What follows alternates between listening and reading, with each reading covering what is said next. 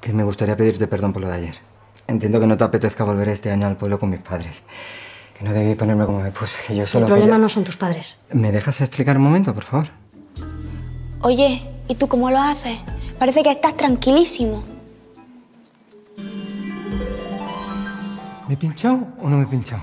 No, no, no, yo, yo sí, sí, yo creo que me he pinchado. Me he tenido que pinchar, lo hago siempre, ¿no? ¿Y el azúcar? ¿Me lleva el azúcar? A ver si me va a dar un bajón, sí, sí. ¿Y si no me he pinchado? ¿Y si me pincho? ¿Y pasa algo si me pincho otra vez? El psicólogo, mi querida Tatiana. En esta vida de subida y bajada, la clave es el psicólogo. Porque somos diferentes. O eso dicen. ¿Tú cómo lo ves? Venga, va, que te llevo la... ¿Tú cómo lo ves? ¿Por qué me preguntas eso? Porque lo quiero saber. Ahora, a las dos de la mañana. Sí, ahora. A las 2 de la No mañana. quiero ser indiscreto, pero no creo que pueda permitirse cenar en este restaurante. ¿Crees que no puedo permitírmelo?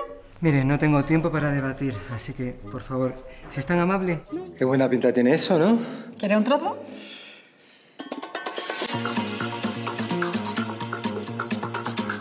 Hello.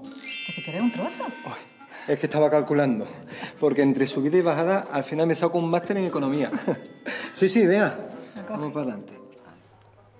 A ver, Inés, que ayer tuve un mal día y lo pagué contigo o con la situación en general y ya está. No creo que sea para tanto, ¿no? Eh, Yo lo único que quiero es pasar tiempo contigo y que los dos estemos a gusto. Yo no sé qué hacer para estar a bien contigo. He tratado de compensar lo que pasó una y mil veces, pero no me dejas. Yo me hice unos versos bastante finos.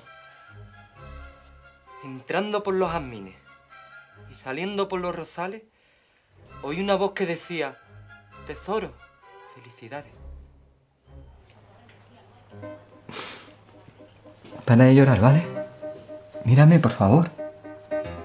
Tú tranquila, si, si esto lo podemos hablar.